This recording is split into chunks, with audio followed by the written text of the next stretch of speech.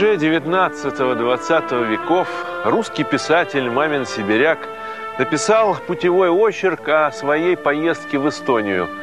Очерк имеет характерное название «Русская заграница». Так писатель назвал Прибалтийский или по-старинному Остзейский край. Он начинается вот прямо здесь, за рекой, с города Нарвы, с его характерным древним замком. И вот Мамин Сибиряк пишет, «Мы очутились на территории древней Ливонии. Мы переехали русскую границу». Надо сказать, что формально, юридически никакой границы тогда здесь не существовало. Прибалтика уже почти два столетия входила в состав Российской империи. Но Мамин Сибиря, конечно, прав. Потому что у культуры существуют свои границы, свое пространство.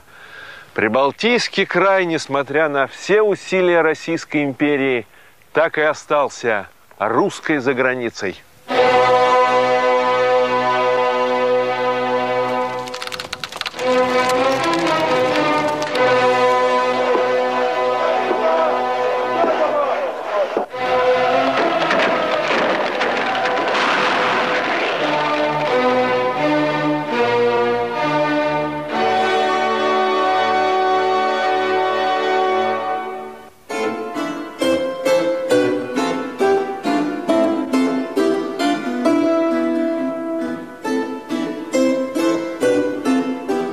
Это все постройки сельской Прибалтики. В такой среде в 18 начале 19 века жили латыши и эстонцы. Они были крестьянами и только крестьянами.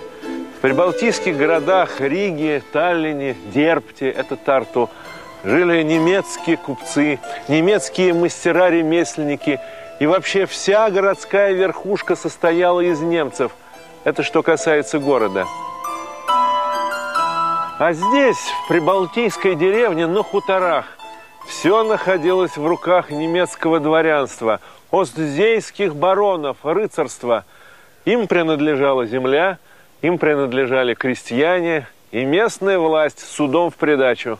Такого в Российской империи больше нигде не было.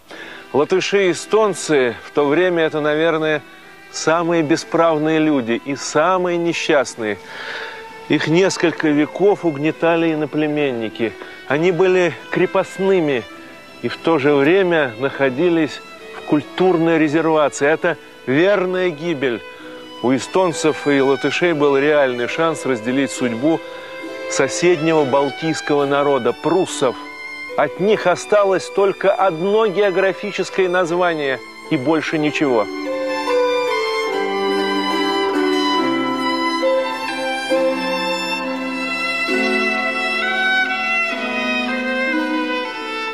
Если сравнить жизнь прибалтийской и русской деревни, то различия буквально бросаются в глаза. Хотя крепостное право существует и там, и здесь, однако даже у самого бедного русского мужика есть своя изба и свой двор. А в Прибалтике не так. Вот посмотрите на дом местного крестьянина. С виду он достаточно большой. Так ведь живет в нем не одна семья. Чистую часть дома занимает крестьянин-хозяин с семейством. И тут же через сени большое помещение для батраков. Там обитает обычно человек 20. И мужики, и бабы, все вместе. Печь топится по-черному. Нет ни потолка, ни пола. Только лавки и стол – даже положение крестьянина-хозяина было незавидным, потому что он принадлежит немцу. Что же тогда говорить о батраках? Это рабы, ну самые настоящие рабы. Ничего своего у них нет. Все им выдается, и это все сосчитано с немецкой педантичностью. На год две пары рукавиц, три рубашки, три пары портов – три пары лаптей, ну и так далее. Но всего в обрез только, чтобы выжить. Этих батраков хозяин гонит к немцу господину на барщину. И они будут жить у него на усадьбе где-нибудь в сарае всю неделю и работать под присмотром управляющего. А если что не так, то по аздейским законам латыша или эстонца можно наказать. Четко прописан размер наказания. До 30 палочных ударов или 10 пар розок. Кстати, эти розги работник должен будет оплатить сам, чтобы барону не было никакого убытка.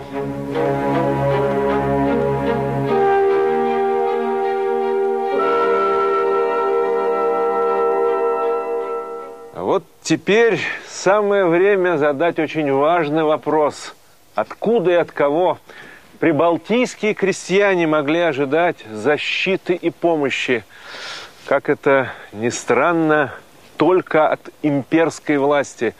Пока империя была сильна, особенно в начале 19 столетия, пока всероссийский император обладал колоссальным авторитетом, он мог, не посягая на аздейские автономии, склонять прибалтийских немцев к преобразованиям в деревне.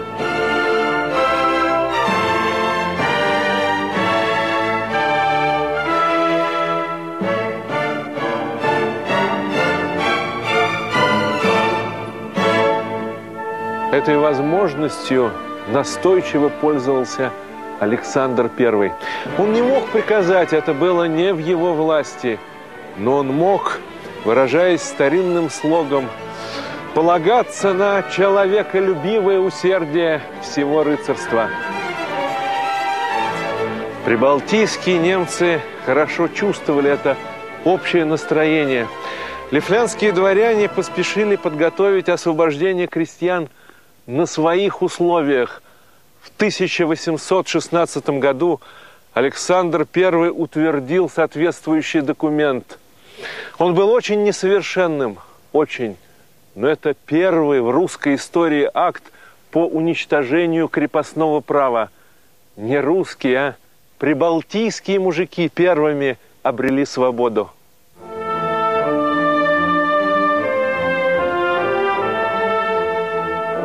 Наше представление об аздейских немцах, об этих истинных хозяевах Прибалтийского края – будет неполным и даже ошибочным, если мы не вспомним совсем другую историю.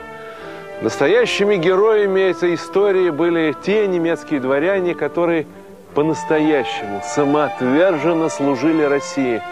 А в числе первых и самых достойных имен следует назвать владельца этого старинного поместья.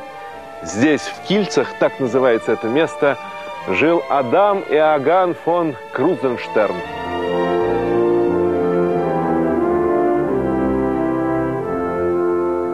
В русскую историю он вошел как адмирал Иван Федорович Крузенштерн, знаменитый российский мореплаватель. Он стал национальным героем России. По его проекту и под его руководством осуществлялась первая российская кругосветная экспедиция – Петербурге, на Неве, Ивану Крузенштерну поставлен памятник.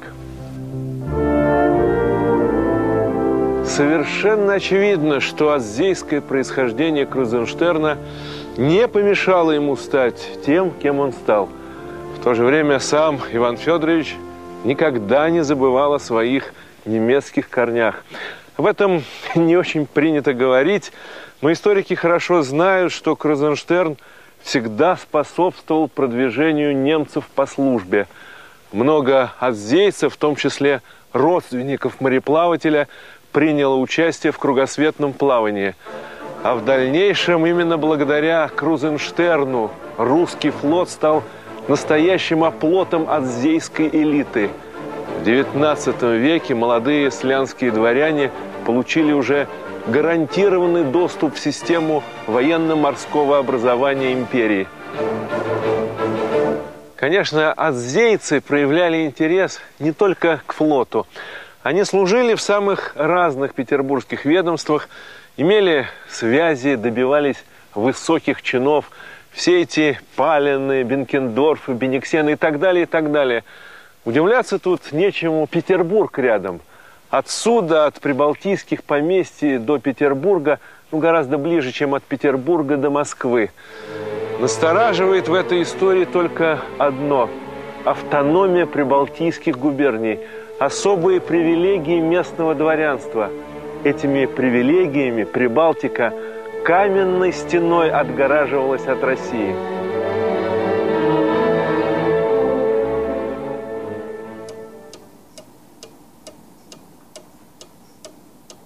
Мы повторяем в своих учебниках. Аздейский край присоединен к России. Я полагаю, Россия присоединена к Аздейскому краю и постепенно завоевывается аздейцами. А теперь представьте на минуту, каково было читать эти строчки российскому императору Николаю Первому, и как он должен был реагировать на эту непозволительную критику. Россия завоевывается. Каково? Гнев императора нетрудно было предвидеть. И потому немало влиятельных лиц очень постаралась доставить государю эту дерзкую рукопись. Она называлась «Письма из Риги». В этих письмах впервые открыто и прямо – разъяснялось положение дел в Прибалтийском крае. Перед читателем возникала ужасающая картина. Первое – успешная борьба прибалтийских немцев с русским влиянием. Второе – полное бесправие местного населения. Наконец, бесконечные притеснения русских людей. И обо всем этом было написано сознанием дела – в письмах очень грамотно разбираются местные законы и постановления имперской власти. Одним словом, автор писем из Риги прекрасно изучил прибалтийский вопрос. Он был хорошо образованным человеком, неравнодушным и публицистом по призванию.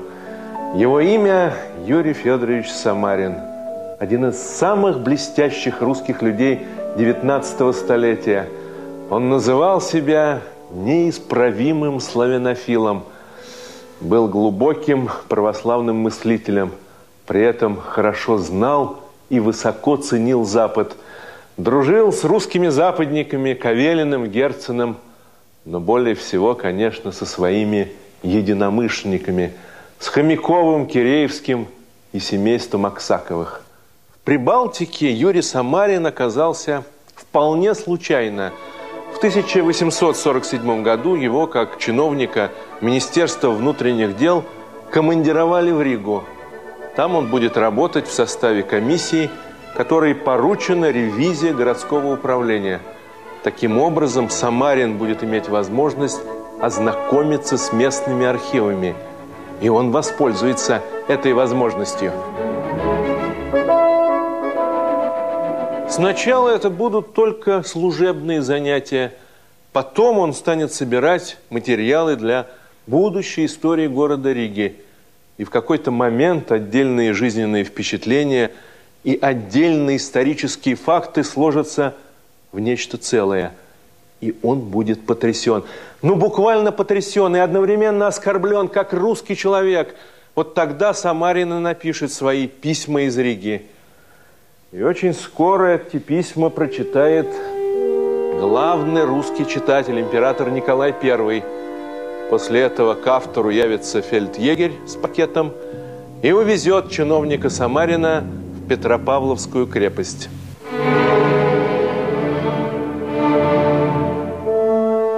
Самарин сидел в крепости в полном неведении. Что будет дальше, какое последует наказание – об этом узник мог только догадываться. Подобные ситуации человека обычно посещают невеселые мысли. Так пройдет 12 дней. 17 марта 1849 года к Самарину снова неожиданно явится фельдъегерь и доставит его в Зимний дворец, прямо в кабинет государя.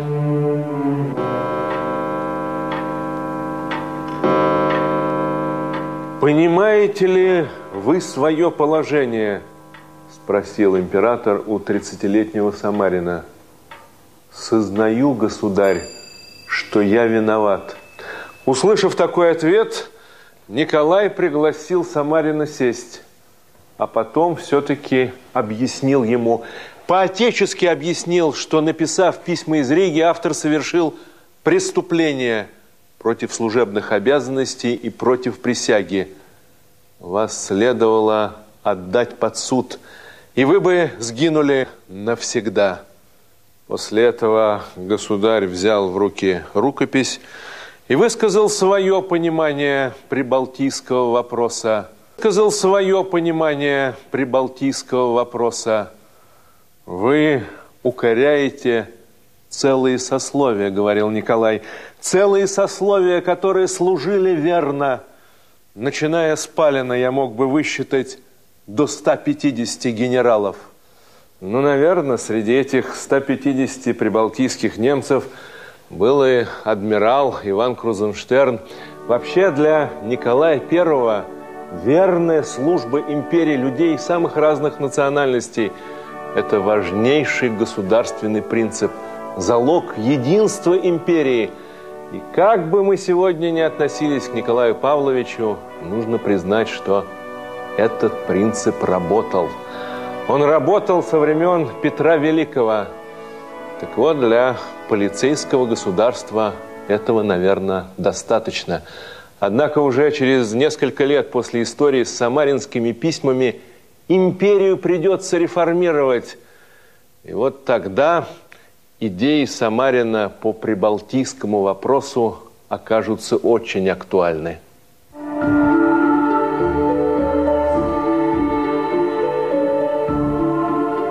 Во второй половине XIX века в Прибалтике сложилась воистину парадоксальная ситуация.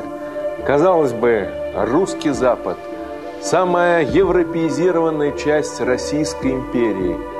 И можно было ожидать, что именно здесь легче всего осуществить знаменитые либеральные реформы императора Александра II.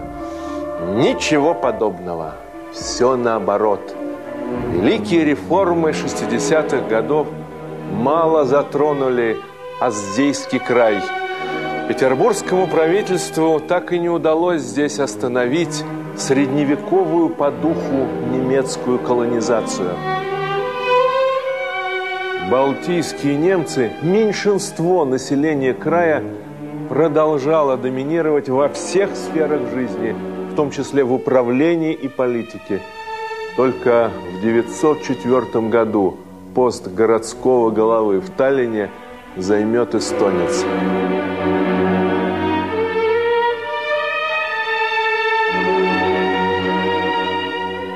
При каждом удобном случае местные дворяне будут напоминать верховной власти о своих якобы исконных правах – немцы Лифлянской губернии подадут Александру II прошение, в котором будут ссылаться не больше, не меньше на подписанные когда-то Петром I условия капитуляции Риги.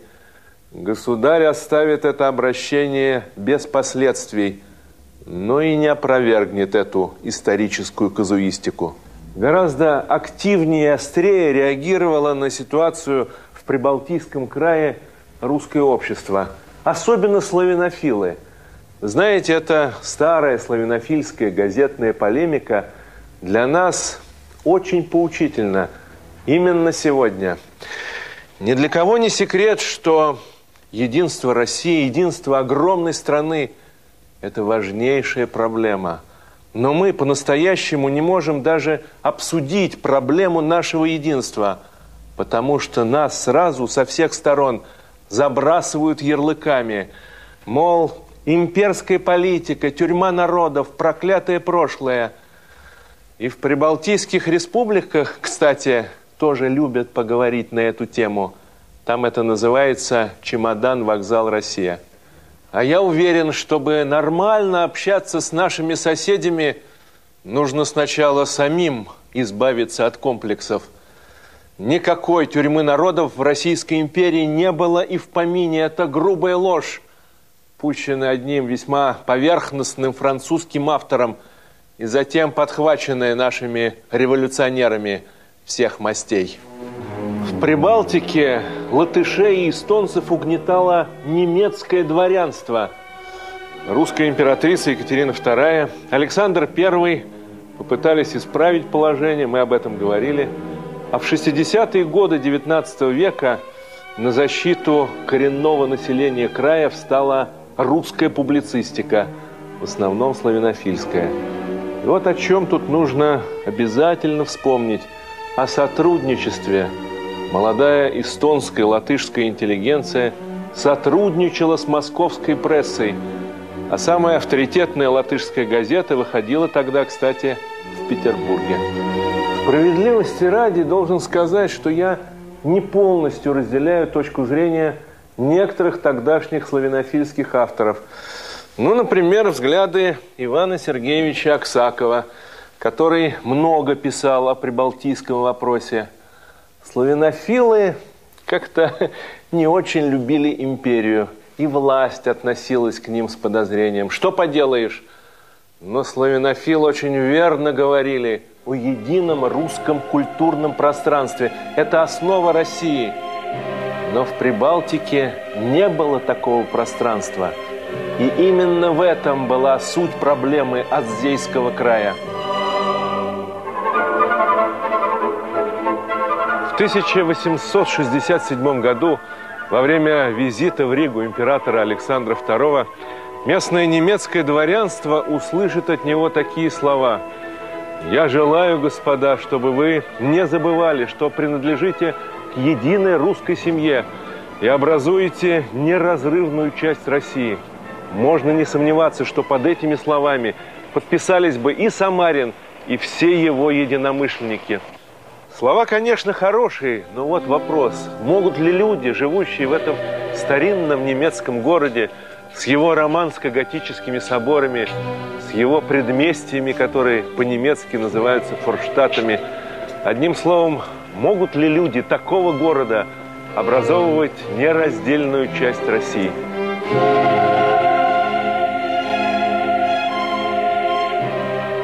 Здесь многое упирается в проблему языка. Русский язык – вот пропуск в единое русское имперское пространство. Соответственно, немецкий язык всегда играл здесь прямо противоположную роль. Это была основа немецкой колонизации. Чтобы сохранить спокойствие, российская имперская власть никогда не стремилась немедленно ввести русский язык в качестве государственного. Пройдет более ста лет, почти полтора века, прежде чем этот вопрос будет решаться реально и настойчиво. Только в 1882 году при Александре III прибалтийских немцев начнут отставлять от разных должностей за незнание русского языка. И тогда же по-настоящему заработают прежде принятые законы о языке. Русский язык станут преподавать во всех прибалтийских школах и гимназиях. Эту политику принято называть русификацией и всячески поносить за нее ненавистное самодержавие. Но факты говорят о другом. Для местного латышского и эстонского населения это была эпоха национального подъема. И мы видим здесь разнообразную интеллектуальную жизнь, видим пробуждение интереса к своему прошлому, к культуре, к традициям. Например, в Риге в то время открывается первая латышская этнографическая выставка. Во времена немецкой колонизации такого просто не могло быть.